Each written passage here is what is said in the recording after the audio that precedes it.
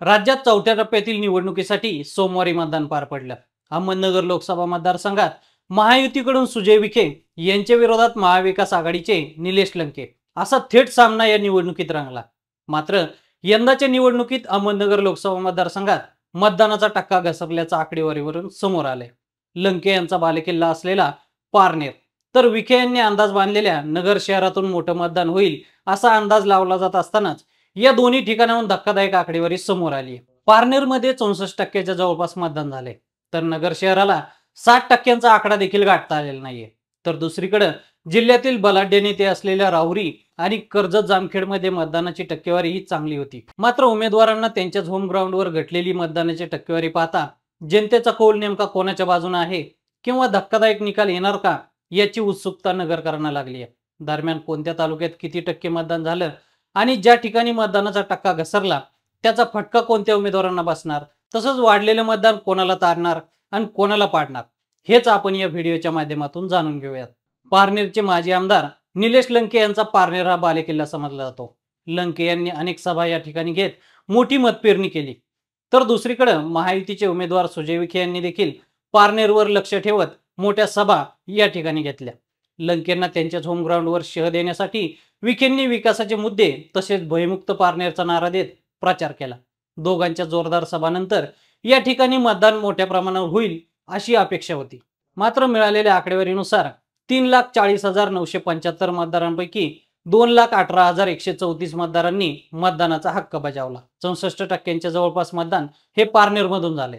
पारनेरमध्ये पैशांचा पाऊस आरोप प्रत्यारोप यामुळे देखील मतदार नाराज असल्याचं बोललं जात होतं.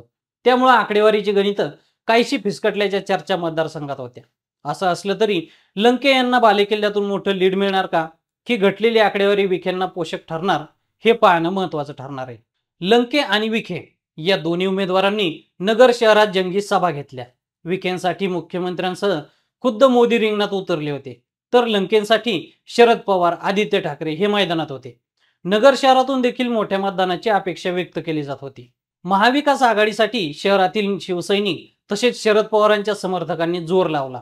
तर दुसरीकडे सत्ताधारी गटाचे आमदार संग्राम जगताप यांच्यावर नगर शहराची धुरा होती सकाळच्या सत्रात मतदान कमी झालं. मात्र दुपारनंतर मतदान केंद्रांवर गर्दी वाढली. मात्र एवढं सगळं असताना देखील नगर शहरातील मतदानाची टक्केवारी घसरली. तीन लाखांहून अधिक मतदार असलेल्या नगर शहरात एक लाख चौऱ्याहत्तर हजार म्हणजेच सत्तावन्न टक्के मतदान झालं. एकंदरीतच जंगी सभा बलाढ्य नेते शहरात आले मात्र मतदारांना ते मतदान केंद्रांपर्यंत खेचण्यात अपयशी ठरले.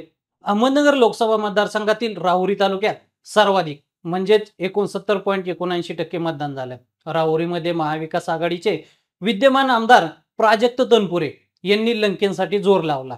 या ठिकाणी खुद्द शरद पवार यांनी देखील सभा घेतली.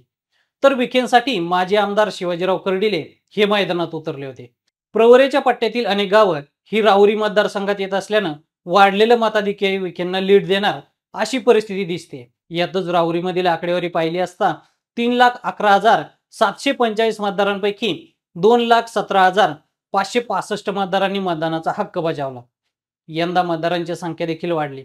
यातच राहुरीमध्ये गेल्या काळात झालेले धार्मिक मुद्दे पाहता अल्पसंख्याकांचं मतदान देखील या ठिकाणी वाढलं.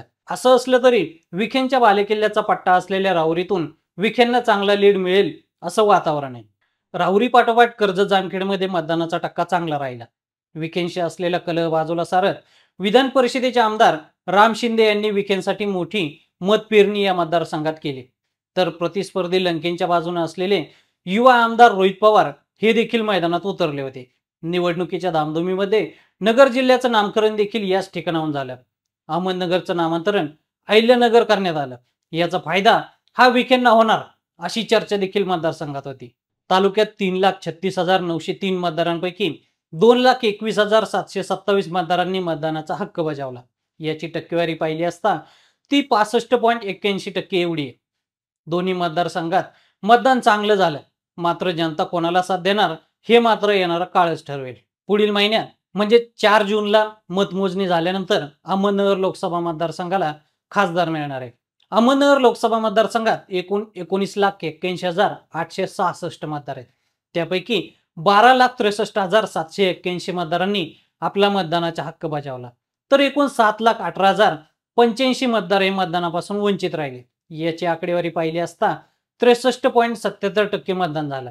दरम्यान मतदान केंद्रांवर सकाळी सात वाजल्यापासूनच नागरिकांनी हजेरी लावली. मात्र फारसा जोर काही दिसला नाही. दुपारनंतर उन्हाची तीव्रता कमी झाल्यानंतर मतदारांची संख्या पुन्हा वाढली आणि मतदान केंद्रांवर मतदारांच्या रांगा दिसून आल्या. तर मंडळी तुम्हाला काय वाटतं? अहमदनगर लोकसभा मतदारसंघात कोण बाजी मारणार? हे आम्हाला कमेंट करून नक्की सांगा.